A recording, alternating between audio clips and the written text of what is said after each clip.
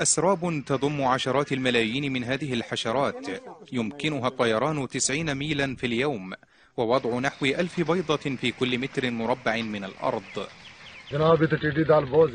لقد هاجم الجراد المنطقة بأعداد كبيرة.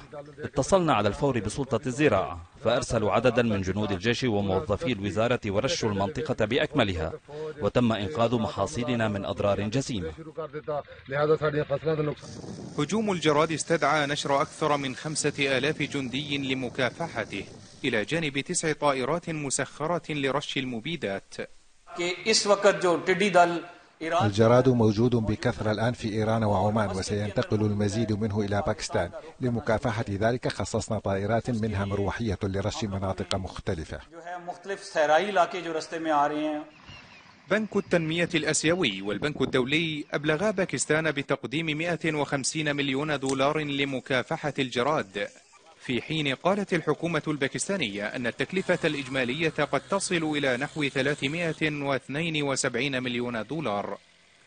بعد أن أنهك فيروس كورونا القطاع الصحي ها هو الجراد يهدد القطاع الغذائي. وبات المزارع الباكستاني يخشى من غزو لا يبقي ولا يذر.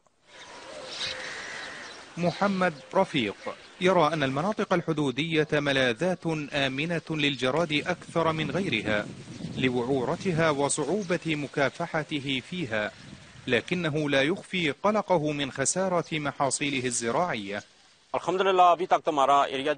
الحمد لله مناطقنا هذه لا زالت آمنة لكننا نشعر بقلق كبير. فخلال الشهرين المقبلين ستنضج محاصيلنا حينئذ تكون أكثر عرضة لغزو الجراد. الحكومة الباكستانية أنشأت مركزا وطنيا لمكافحة الجراد في جميع أنحاء البلاد وهي عملية تجري في خمسين منطقة متضررة. وضع دق ناقوس خطر أمن باكستان الغذائي.